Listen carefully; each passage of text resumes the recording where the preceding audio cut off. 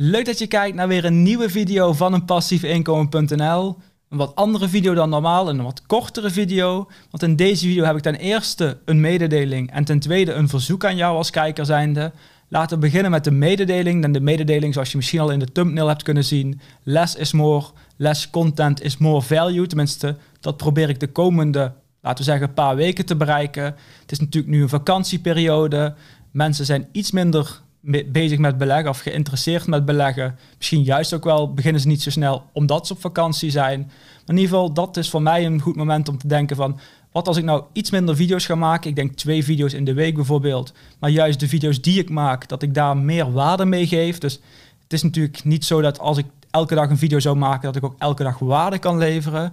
Dan ga je juist video's maken vanwege de content, vanwege de ads. Dat ben ik juist niet van plan ja, ik weet dat jullie nu ook weinig tijd hebben of misschien zo min mogelijk tijd willen besteden op YouTube, omdat je vakantie hebt. Dus de tijd die je aan YouTube besteedt, daar wil ik ook voor zorgen dat jij die nuttig vindt, dat je daar veel informatie uit haalt. En op deze manier hoop ik dus ook zelf meer tijd te hebben om meer onderzoek te doen, meer diepgang, meer video's te maken die jullie willen zien, zodat het echt goed aansluit bij jullie. Want dat is denk ik wat nu op dit moment het beste is. Maar ik kan er ook naast zitten. En dat is natuurlijk dan meteen het tweede punt van deze video.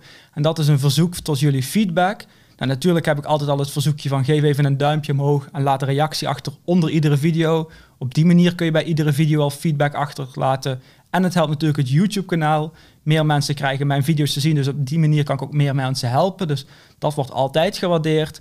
Maar in dit geval wil ik je vragen om een vragenlijst in te vullen. Dat doe ik ongeveer ieder kwartaal een beetje. Uh, ja, mijn abonnees veranderen natuurlijk ook. Er komen nieuwe abonnees bij. Er zullen misschien wat andere abonnees afvallen. Dus nu ben ik benieuwd naar wie kijkt er op dit moment en wat willen jullie graag zien. Dus je helpt er niet alleen mij mee, je helpt er ook vooral jezelf mee. Je kunt in die vragenlijst ook aangeven van dit wil ik wel graag zien, deze onderwerpen. Deze andere onderwerpen wil ik misschien minder graag zien. Dit zijn pluspunten van je kanaal. Dit zijn eventueel verbeterpunten. Dus daar ga ik zeker iets mee doen. En vooral als vaak hetzelfde naar voren komt, ga ik dat zeker verwerken in mijn video's. Zodat ik ook de komende tijd dus mijn content kan verbeteren. En juist op die manier dus ook meer waarde kan geven. Dus kijk even in de beschrijving onder deze video. Daar zal ik een linkje plaatsen naar die vragenlijst. Of ga naar een passiefinkomen.nl slash YouTube-feedback. Daar zal ik dan zorgen dat altijd bij de laatste, bij de laatste vragenlijst, als je daarbij uitkomt. In ieder geval alvast bedankt voor het invullen en ik ga zeker aan de slag met jouw feedback. Zijn we daarmee al aan het einde gekomen van deze video? Zoals gezegd, een korte video. Wil ik jou een fijn weekend wensen en hoop ik jou bij de volgende video weer te zien.